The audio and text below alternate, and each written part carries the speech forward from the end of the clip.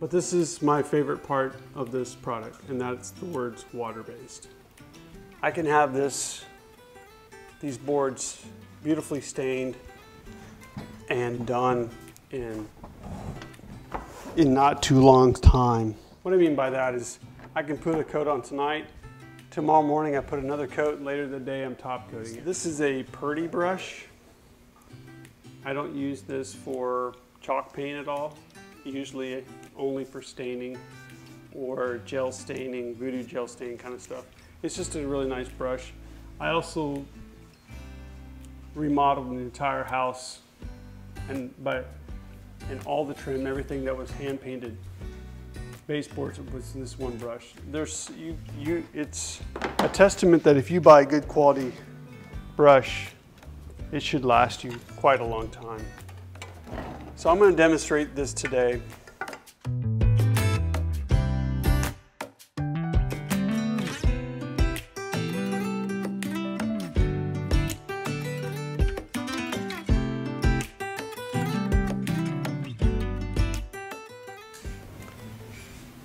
All right. So the other side is going to be the under, underneath, and I'm not doing anything with that. So for this, what you need to determine, usually with this gel stain, this um, espresso stain, and you can see the stain on my Amazon page, is you need to determine if you want this like totally blacked out, like so dark you can't even see the wood stain, or do you want to be able to see wood grain? When I say stain, wood grain. So normally I like to see the wood grain, but if you did two coats of this, you will not see any any wood grain. And some people like that. They want to hide all the flaws and the problems it has, but so you don't want to get too far. So that's why you'll have to have a rag handy and just wipe it off. I do kind of recommend that you wear a glove if you want to not get stained in your fingertips or mess up your beautiful nails, but look how lovely that is. Not every wood is going to stain the same. You know, it's just going to come down to what kind of wood it is, what kind of grain. So sometimes it looks prettier than others, and usually it just comes down to what kind of wood you're working with. This, I believe, if I'm looking at it correctly, it's not a plywood, and I'm pretty sure based on the age that you should expect that older wood in an antique, it's going to be a nicer quality wood, not a plywood, not half particle board.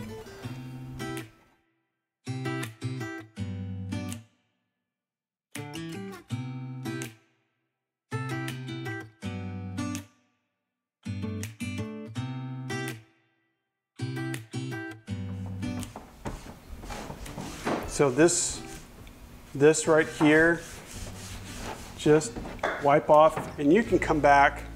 So this is the decision you gotta make is, is that enough? Or do you want another coat? If you could technically not wipe it off, but I usually wipe it off, but not always.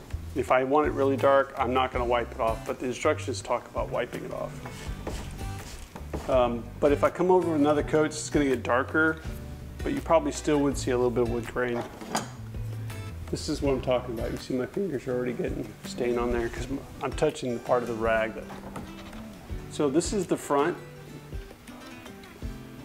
I probably have too much stain on my brush, but that's okay. I'm gonna wipe it off, but I don't want them to see the front not stained. So I sanded the, the side that, that the viewer would see when they open up the side cabinets. So I could have done this on the top, but I on the top of my buffet, but I really did want, I was aiming for a black finish because I wanted to complement the gray that I used. Inside the cabinet, it's not as critical. Okay, wipe the sides a little bit.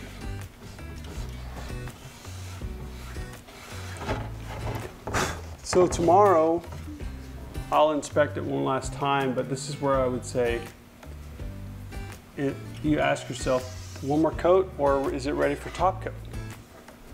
And I kind of like the look of that. I like seeing the wood. I don't even mind. There's parts of it that has some staining from previous use. I want, I really do want all that to be there. So let's do this last piece. And I did, the tops look like this, lacquered, but I sanded all that off because I didn't want that. But you can see that there's all kinds of circle rings from bottles and jars being on here. And I'm okay that I'm not trying to wipe out the age of the piece. But if you're trying to hide all that, you're probably gonna need two coats of this. You see how crazy dark, beautiful that is? I just, I don't want that. General Finishes does have several colors and they have a good product line. I'm not any kind of ambassador or anything with them. I just, I like this product and um, just keep in mind that there is a difference between water-based and oil-based stains, so you just need to think about that a little bit. So here I'm just wiping off the excess. I'm not trying to scrub it, go in the wood grain. You can see all of the previous like rings. I'm still okay with that. I, I could probably go the whole do the whole top, this whole board without wiping it off, but it'll start drying on you. And I don't want that to happen. So that's why I usually break it up into sections. And the, the instructions talk about that, doing small sections at a time. It is water-based, so I probably could go back to even their first board and wipe things off if I wanted to. Like I think it says if you want to reactivate it, just go over it with another coat. I don't know why I would ever do that. All right, so this is looking great. So you can see I'm going over the original section just to kind of blend it in. All right, I can already tell that I have one area that's being a little unruly but that's okay. So I just, I think that's where I'm gonna say I probably need another coat. Let me show you what I'm talking about. So you see right here, that lighter area probably had something happening to it, like a, um, a product. So this is where I might just do a quick, just let's see if that helps it. But more than likely, I'm gonna need another coat. And that helped a little bit, give it a little bit of a darker tone in that one spot. Kind of helped get rid of it a little bit.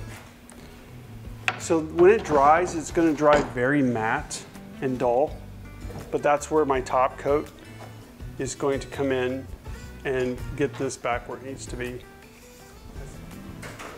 So my brush is water-based. I'm just gonna put in my little, I always have like a water bucket for my lides, so I'll put it in there. And it's not too hard to get rid of the stain off your fingers if you want to do it quickly. It's just a little wet rag. Or soap and water in the sink does a really good job. It's not too bad. That's the end of the show. Make sure you subscribe and ring the bell before you go. Bye.